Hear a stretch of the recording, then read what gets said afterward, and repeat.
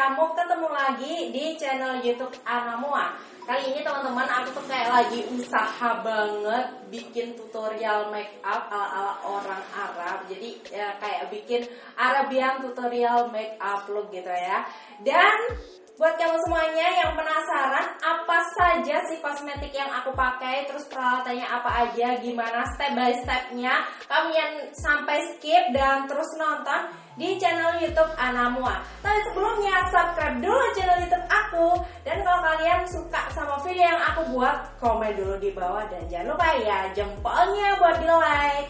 Oke deh teman-teman, jadi hari ini aku mau mencoba tutorial makeup yang udah aku janjikan seperti di awal tadi. Jadi hari ini temanya adalah Arabian makeup look. So, apa saja yang kita butuhkan? Jadi seperti biasa aku udah membawa kotak ajaib dan ini udah aku isi dengan berbagai alat makeup yang sangat komplit dan lengkap. Karena kali ini aku mau mencoba sesuatu yang kayaknya lebih berat gitu ya. Karena uh, kita kan tahu ya untuk look makeup Arab itu biasanya tuh kayak strong banget gitu loh ya. Mulai dari matanya itu kayak kuat banget terus juga alisnya itu bentuknya tuh benar-benar melengkung indah dan yang pasti Arabian makeup look itu kelihatan kayak makeup yang sempurna gitu ya. Oke deh, maka dari itu aku udah mempersiapkan ada foundation, terus di sini juga ada primer, ada blush on, bedak dan sebagainya. Bahkan aku juga udah siapkan bulu mata. Kali ini aku juga benar-benar menggunakan bulu mata sebagai pelengkap nantinya. Bahkan kemarin aku bikin Korean makeup look gitu juga aku udah siap-siap bulu mata dan ternyata kepake juga. Oke. Okay.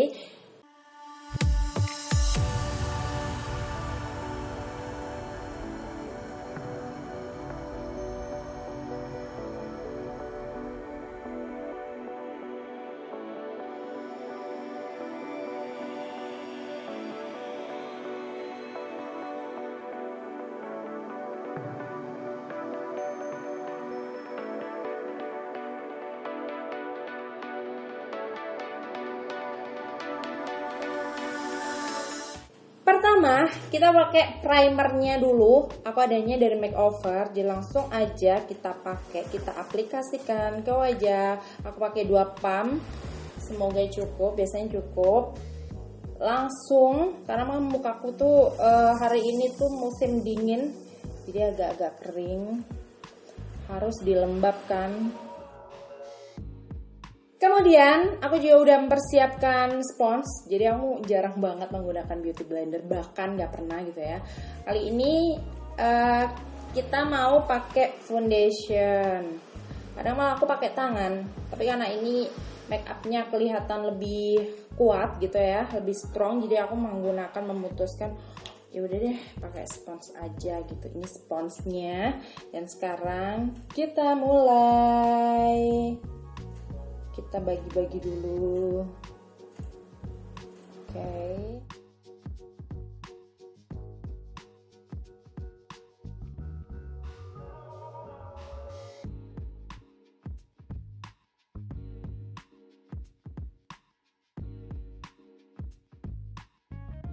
Oke deh teman-teman, kali ini udah selesai foundation, jadi aku mau lanjut ke bedak aja ya dan Bedaknya kali ini aku mau menggunakan produk dari LT Pro. Jadi ini bedaknya dan langsung saja kita beralih ke bedak.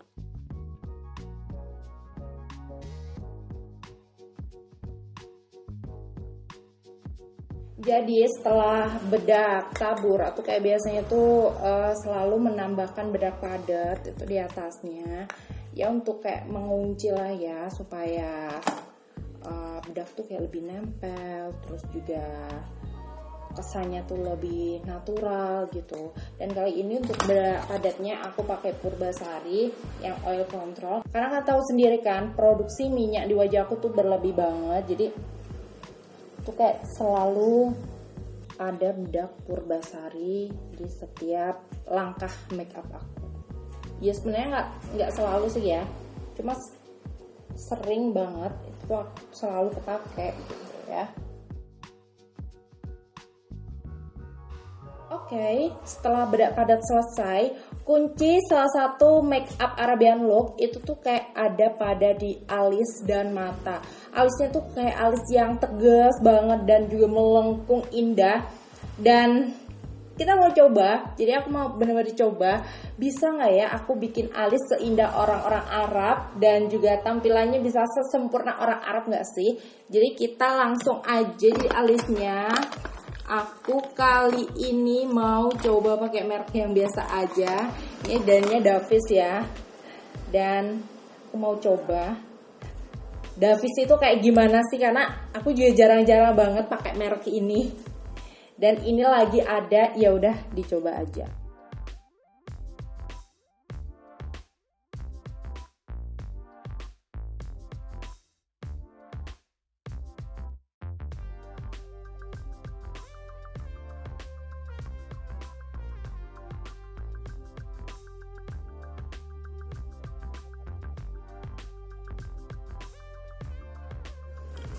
Kemudian jangan lupa selalu gunakan spoolie setelah kita tuh menggambar alis dan kalau warnanya nanti kurang tajam, warna coklat nanti bisa kalian tambahkan warna hitam.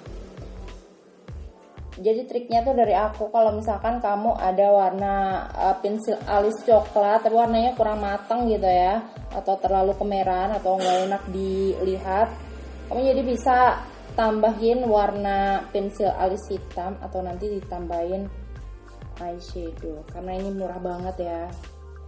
Yang nggak keluar warnanya. Oke deh nggak apa-apa. Kita tambahin aja warna hitam.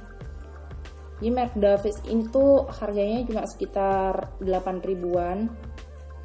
Dan aku juga jarang-jarang pakai dan kalau nggak salah ini adalah hadiah pas aku belanja di online shop gitu. Oke. Okay. Oke deh teman-teman. Dan setelah ini tuh aku mau kayak uh, ngerapihin alis aku. Tadi kan ngegambarnya mungkin ada yang melewat sana melewat sini gitu ya jadi dibenerin. Jadi ngebenerinnya pakai kuas terus dikasih foundation. Dikit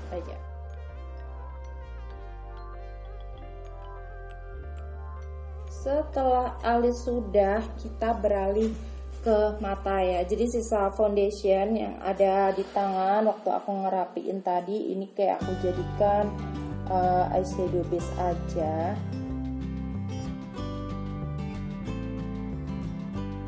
Tapi kalau kalian ada eyeshadow base bisa dipakai eyeshadow base juga. Kok ada sih sebenarnya tapi malas untuk mengeluarkan dari kotak. Jadi ya yang ada di sini aja Oke. Okay. Kemudian untuk tahapan pertama gitu biasanya tuh aku kalau sebelum pakai eyeshadow di bawah mata itu selalu aku kasih bedak. Ini apa fungsinya tuh biar kalau ada uh, eyeshadow eyeshadow yang bertaburan gitu jadi nanti jatuhnya tuh pas di atas bedak gitu. Jadi biasanya bedak yang warnanya apa aja. Kalau bisa warnanya lebih terang ya seperti ini terus Oke okay deh, jadi kemudian eyeshadownya aku ada palette ini sebenarnya dari Sari Ayu cuma udah aku stikerin aja. Yang pertama aku pilih uh, warna merah campur orange. Kita lihat dulu jadinya seperti apa.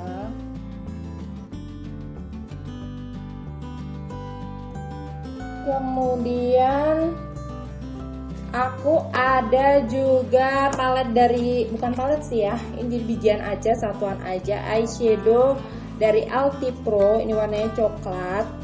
Jadi ini warnanya tuh masuk banget gitu ya. Dan bener-bener pigmented. Jadi ini aku pakaiin di sudut-sudut mata. Dan sisanya langsung dibaurin di bawah mata karena biasanya itu orang sana tuh selalu kayak pakai celak gitu ya Biasanya tuh orang-orang Arab tuh kan eh, kayak suka yang glitter-glitter, emas-emas gitu dan aku juga mau menaruh eyeshadow warna emas di kelopak mata aku. Jadi kali ini aku udah persiapkan eyeshadownya. Dan buat kalian semuanya, kalian bisa pakai merek apa saja yang kalian ada, yang kalian punya di rumah. Dan kali ini sesudah warnanya tuh kayak warna-warna timah gitu ya. Jadi warnanya ini ada warna coklat, terus ada warna orange, ada warna merah. Kemudian aku akan kasih warna emas. Dan biasanya warnanya emas biar kelihatan lebih muncul, kelihatan lebih timbul. Kamu bisa kasih primer dulu di mata kamu. Ya udah aku kasih primer dulu. Biar nanti warnanya lebih keluar, lebih warnanya lebih pigmented gitu.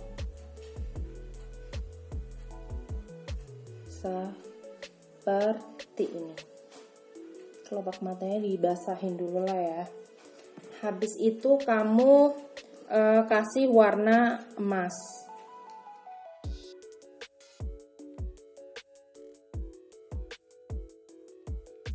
Dan jangan lupa ini tuh kayak cuma ditap-tap aja jangan kayak dibaurin disapuin gitu biar warnanya bener-bener nempel.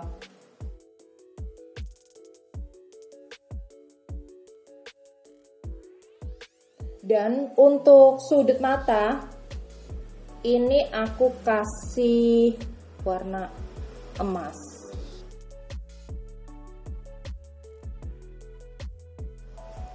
oke okay. jadi kalian bisa ikutin step-stepnya tadi eyeshadow yang awal banget aku pakai itu adalah eyeshadow uh, warna merah dicampur sama orange kemudian ditimpa sama coklat tua dan yang terakhir aku kasih warna emas dan teman-teman semuanya orang Arab itu biasanya tuh kayak uh, ada istilah dan melekat banget kalau mereka itu selalu kayak pakai celak gitu ya. Ini di bawah mata itu. Dan aku ada lira ini masih kecil banget liranya udah hampir habis. Tapi karena aku suka pakai ini ya udah meskipun tinggal sedikit tetap aja dipakai. Dan aku juga pakai biar kelihatannya matanya kayak orang-orang Arab dan selanjutnya karena mata celaknya udah. Ini nggak terlalu aku buat bener-bener strong gitu enggak ya. Karena aku kayaknya ini aja udah cukup. Dan selanjutnya aku mau bikin uh, eyeliner. Dan eyeliner ini ini adalah bagian tersusah juga. Karena kita harus kayak meraba-raba. Orang Arab tuh biasanya pakai eyelinernya seperti apa sih dan bentuknya cara mereka bikin eyeliner pun juga sangat berbeda ya. Oke jadi kita langsung aja bikin. Seperti biasa kita bikin kayak garis bantu. Dan dari tengah kita sapukan. Kemudian di bagian sisi mata sebelahnya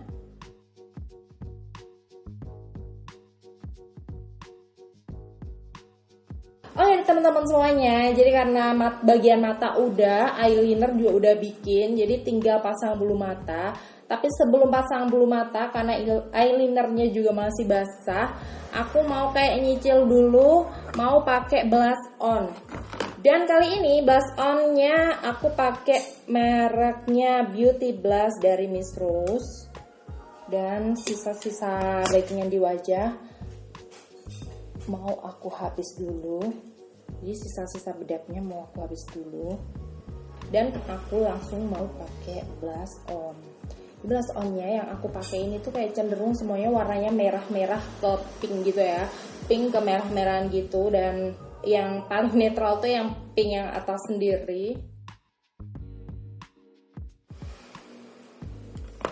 Dan kalau kalau warnanya terlalu kuat kalian bisa tambahkan bedak padat jadi dibaurin dulu Oke deh teman-teman semuanya, jadi uh, kali ini bulu mata palsunya udah aku pasang dan tinggal menyatukan antara bulu mata palsu dan bulu mata asli. Jadi kali ini aku butuh bantuan maskara, aku pakai dari merek Essence.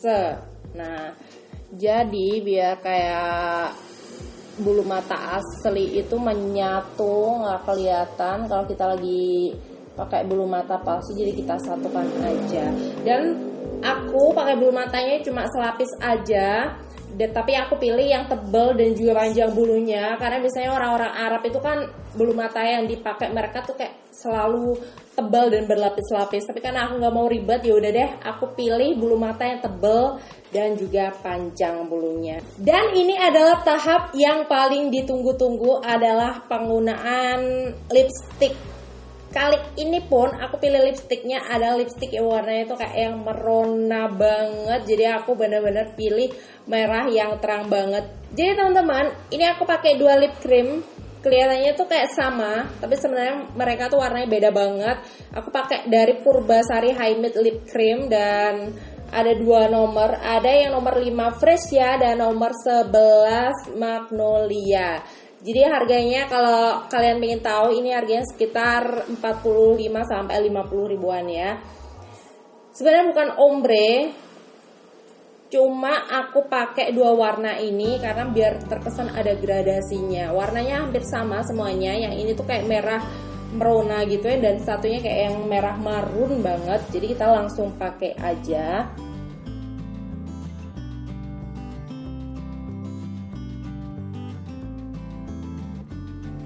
Jadi itu warnanya kayak merah menyala dan terus aku akan timpa sama yang Purbasari uh, Magnolia ini yang nomor 11 ini kayak yang merah pekat banget.